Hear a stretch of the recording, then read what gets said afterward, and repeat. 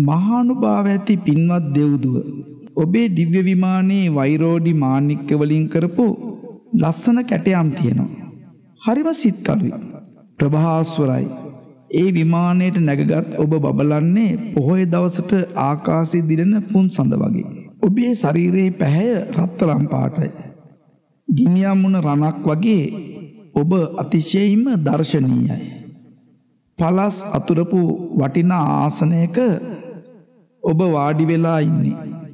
ඔබ හුද කලාව ඉන්නේ. ඔබට ස්වාමියෙක් නෑ. ඔබේ මේ පොකුණ වටේට බොහෝ මල් තියෙනවා. සුදු නෙළුම් පිපිලා තියෙනවා.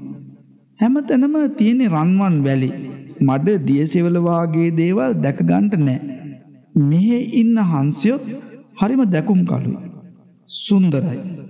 ඔවුන් හැමතිස්සේම ජලයේ පීනා පීනා ඉන්නවා.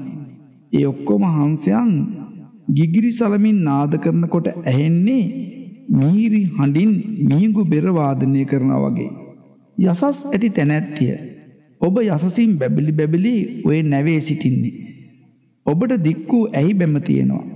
සිනහ නැගුණ මුහුණක් තියෙනවා. ප්‍රිය වචනයෙන් කතා කරනවා. සුන්දර වූ සියලු අඟ පසඟ තියෙනවා.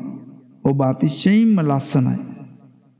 මේ දිව්‍ය විමානයේ දූවිලි නෑ. සමව පිහිටලා තියෙනවා. ඇල්මත් සතුටත් වැඩෙනවා. අලාමක දර්ශන ඇති පින්වතිය. අපි ඔබ සමග මේ නන්දන උයනේ සතුටින් ඉන්ට කැමති. එමනං ඔබට කරන්ට තිබෙන්නේ මේ දිව්‍ය විමානයේ සැපවිඳීම ඇති කරලා දෙන විදිහේ පින්දහම් කරන එකයි. ඔබේ හිතත් මේ දිව්‍ය විමානයේ පිහිටුවාගෙන ඉන්න. එතකොට ඔබට මේ දිව්‍ය විමානයේ සැපවිඳීම ඇති කරලා දෙන විදිහේ පින්දහම් කරලා මාත් සමග සතුටින් ඉන්න පුළුවන්. ඒ මානවකයා හොඳයි කියලා ඇයට පිළිතුරු දුන්නා.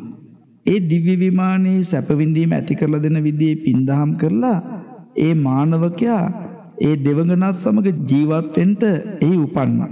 තුන්වෙනි රතකාර പ്രേත වස්තුවයි.